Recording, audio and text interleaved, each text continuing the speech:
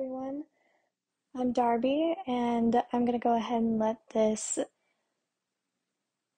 time lapse of my piece play in the background while I go ahead and give my presentation.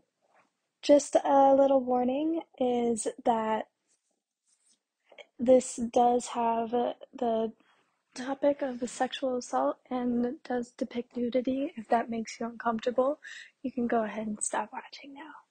My art during the past year has been centered around the feelings and mental state I've been in during COVID. COVID has given me the time to be close to my family and contemplate my anxiety. As a result, I have found a new appreciation for my own body and have discovered resolution in myself as an artist. I've had the time to focus on experiencing this through the representation of figures close to me. I've included various self portraits as well as portraits of my significant others and family members.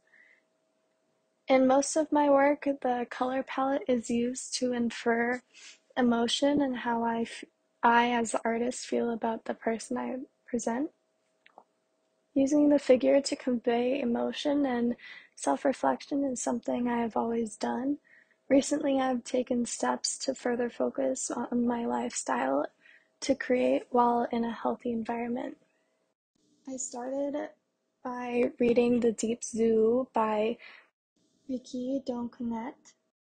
This inspired me to further self reflect about what I create as an artist and what I, it means to me rather than everyone else.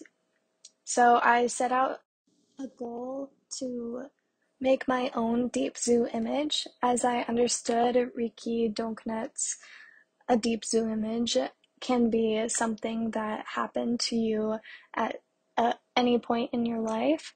This uh, would affect the way that you create and what things mean to you. My deep zoo image references the sexual assault I experienced as a child. My passion for consistently depicting human figures stems from reclaiming one's body after experiencing abuse, the mixed emotions one would struggle with feeling after, um, like feeling like their body wasn't theirs anymore, um, is a complicated concept to depict in art since it's always been quite a taboo topic in today's culture. Therefore, I created an image based on the experience that I had after trauma. The drawing depicts a figure laying on a flat surface. The figure seems to be sleeping, but in discomfort. The background is shadowed with hands floating around the figure. The hands show various gestures, such as pointing and accusation, a claw form as if trying to grab, but most importantly, the hands that make contact with the figure. One reaches for the neck and the other her thigh.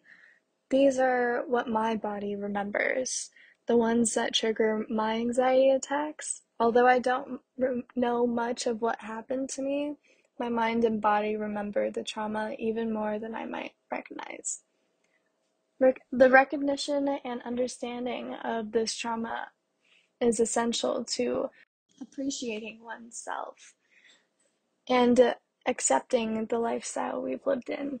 This piece of artwork would inspire those conflicted with trauma to reclaim who they are and be the best version of themselves for the world to see. Creating this piece wasn't easy. It was mentally exhausting. And I realized that I needed a healthier way of creating such work that won't tax on one's soul. That's when I found Sean Tucker's The Meaning in the Making. This book offered a way of creating lifestyle to help artists digest the feelings that they use in their work. It includes making time for yourself to breathe and meditate without pure focus on challenging topics. The book encouraged me to find what makes me happy while creating. It also shed light on how to live outside your work. keeping a schedule and planning time to be alone with your thoughts, but not to plan on what to think. Learning to be more precise with what you say when you create.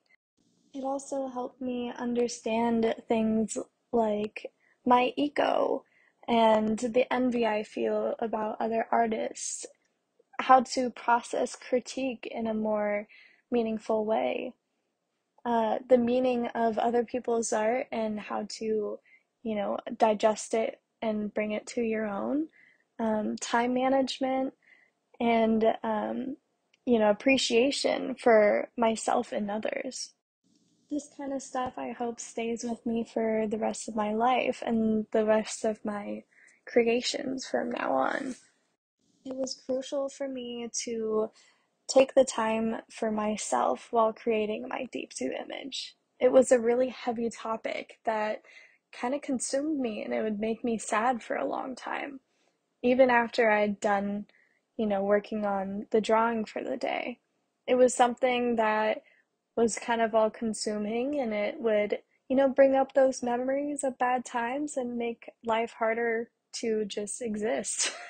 but what I realized when I was creating it was that it was helping me get through these emotions that I feel about it. It was helping me understand what, you know, I went through and how to move on and how to create my own body confidence through my art the book really helped me understand that it's just as important to have separation from my work as well as being connected to it.